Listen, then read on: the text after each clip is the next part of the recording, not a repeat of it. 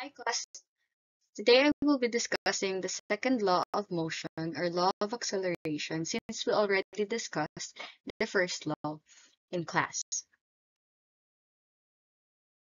Acceleration is summarized as the acceleration of a body under the action of given set of forces is directly proportional to the vector sum of the forces or the net force and inversely proportional to the mass of the body. So this is simply the relationship of acceleration to the following variables, the force and mass. So from this relationship, we can see that the greater the force or net force acting on the body, the greater is the acceleration, since the relationship of the two is direct. On the other hand, for mass, the lower the mass of the body, the greater is the possible resulting acceleration, which means lighter objects are easier to accelerate than heavier objects. The law of acceleration um, is written as, in terms of mathematical equation, the summation of forces, net force, is equal to the product of mass and acceleration. If from this equation, you can see that if we derive acceleration, acceleration would be equal to the summation of forces acting on the body divided by the mass. This is the relationship we have stated earlier. Another one, the unit of force is defined in terms of the unit of mass and acceleration. If we write it down, the summation of force is equal to mass times, times acceleration, where mass is in kilograms, and acceleration is in meters per second squared. Now this unit is simplified into the unit known as newtons. Write newtons in capital letter N with respect to Sir Isaac Newton. So 1 newton is equal to 1 kilogram meter per second squared. So how do we observe this law in action? Take for example, an object resting on the floor. From the first law, we learned that this object is in equilibrium state or stable state because of the balance force of gravity and the normal force. Object will remain at rest unless there is an external force that will be acted on the object, as stated by the law of inertia. So for example, a force is applied to the right. We know for a fact that this object will begin to move to the right.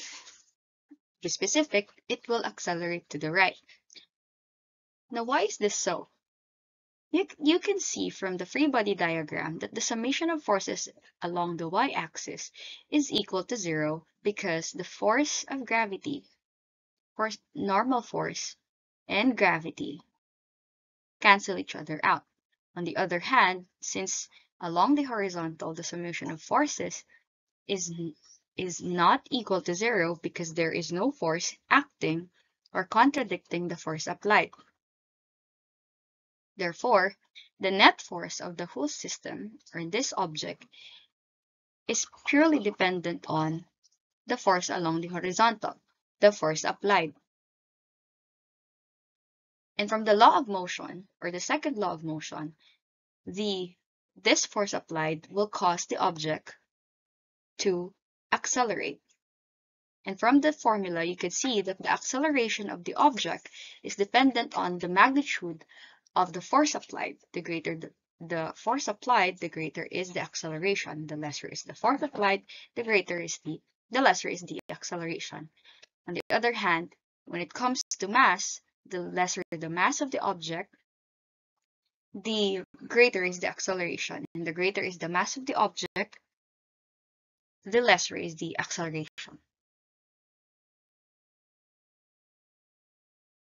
The general formula for acceleration is simply F net is equal to the mass times acceleration. However, this F net is dependent on its component, meaning to say there could be many forces acting on the object both along the horizontal and the vertical.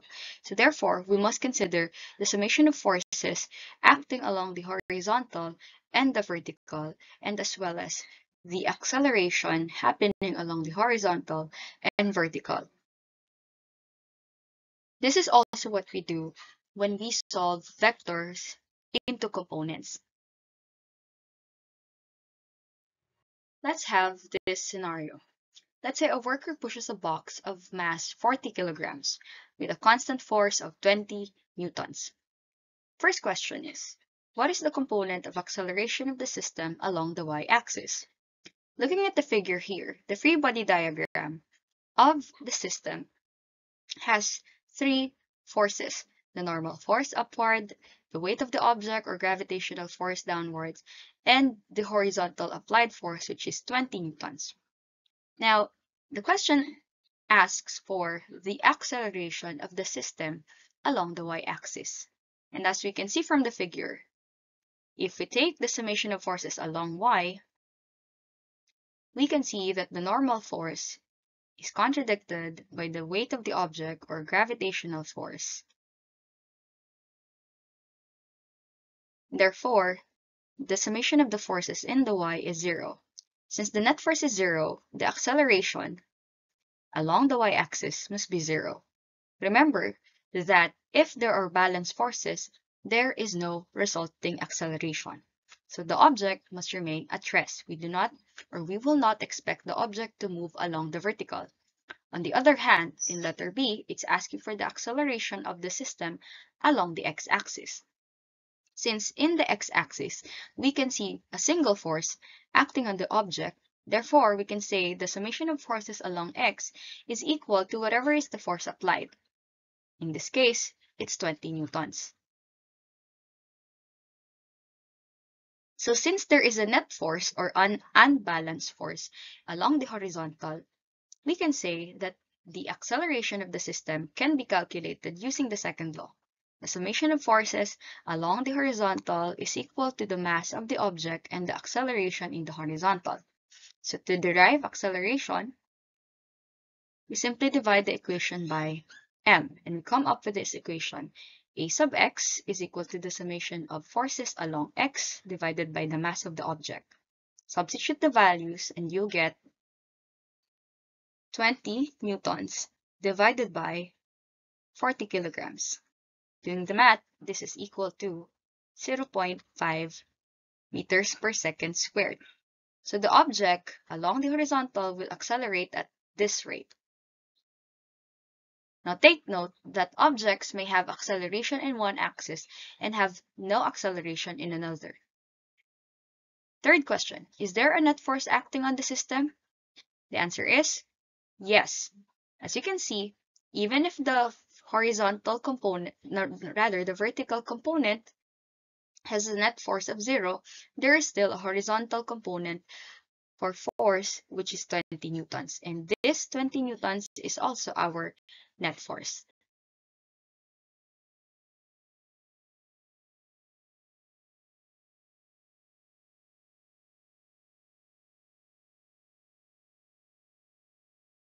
This is the clearer solution and explanation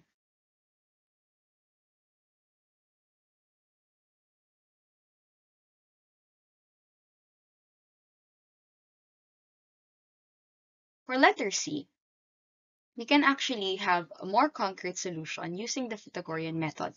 Remember how we solved the resultant vectors in quarter 1? When we are solving for resultant vectors, we take the summation of vectors along x and y. So in this case, we will also get the sum of forces along x and y, take the squares, the sum of the squares, and extract the square root.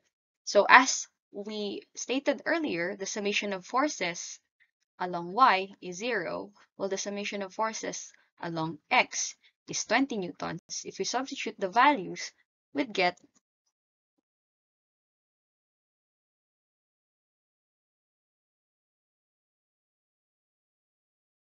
Twenty newtons as well. So the square, so the f sub y is zero, and the 20 newtons squared with extracted with in square root would still be 20 newtons. Let's try the sample problem.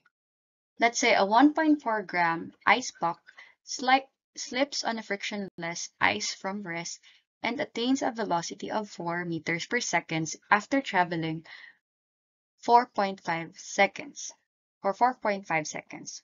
What is the acceleration of the puck and what is the net force at that certain point?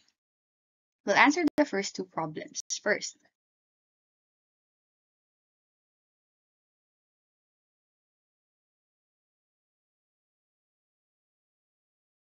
Using the GRESA method, we begin by writing the given values. The mass of the ice puck is 1.4 grams. The velocity of the object is 4 meters per second. And the time it will travel is 4.5 seconds.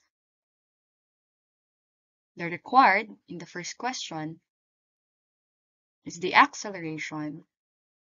And in the second question, the force or the net force at that certain point. So for number one, we have to identify the acceleration. So based from the given, the, the only variables we know are mass, velocity, and time. And to solve for the acceleration from earlier, we recall that acceleration is equal to the summation of forces or net force divided by the mass. And the problem though is that force is not actually given the problem. However, we can see that we have velocity and time, and these are the variables needed to solve for acceleration. Recall in, in our lessons in the first quarter that acceleration is simply the change in velocity over change in time. So we'll substitute the values 4 meters per second divided by 4.5 seconds to get the acceleration. The value would be, you can pause the video if you want to solve,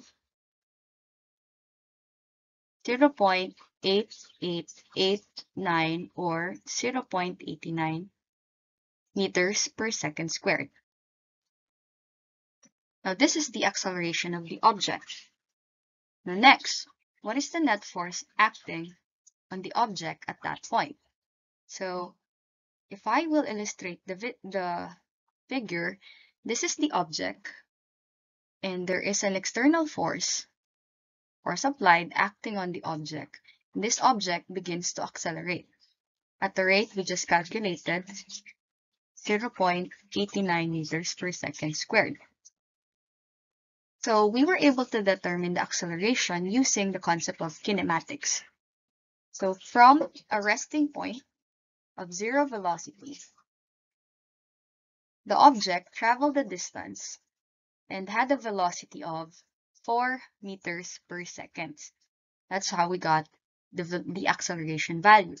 In letter B or number 2, since we're asked of the net force, we use the equation of the law of motion. From the law of motion, the summation of forces or net force is equal to the product of mass times acceleration. You think it's simply substitution, however, please take note that the mass is given in grams. So we must convert this mass, 1.4 grams, into kilograms. So you just multiply it to the conversion factor of 1 kilogram over 1,000 grams. The answer is 0.0014 kilograms.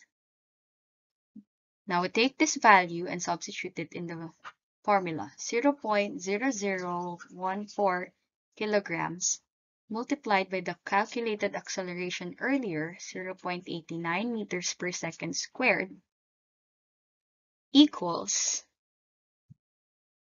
0.001246, or in scientific notation, that is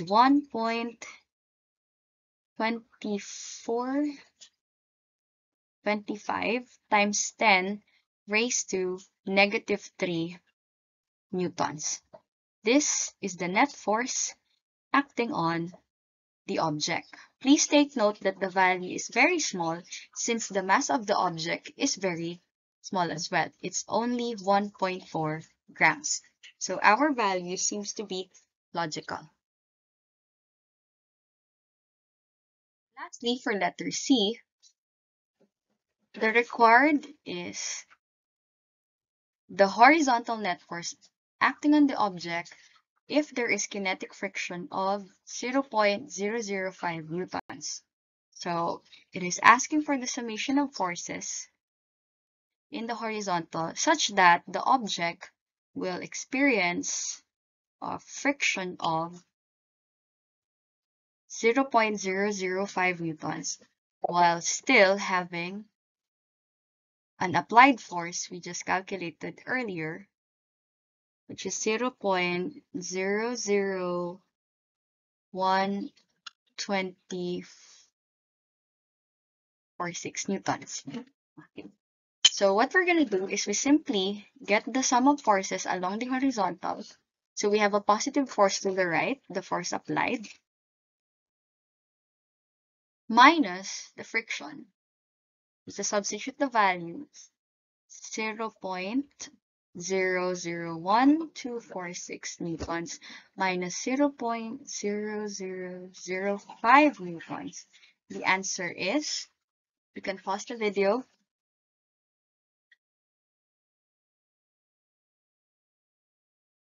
Zero point zero zero zero seven four six, or in scientific notation, it is equal to 7.46 times 10 raised to negative 3 newtons. So this is the net force acting on the object if there is a horizontal friction. Please take note that this value is lesser than the original calculated net force because friction will diminish the net force acting on the object and thus make the object move slower.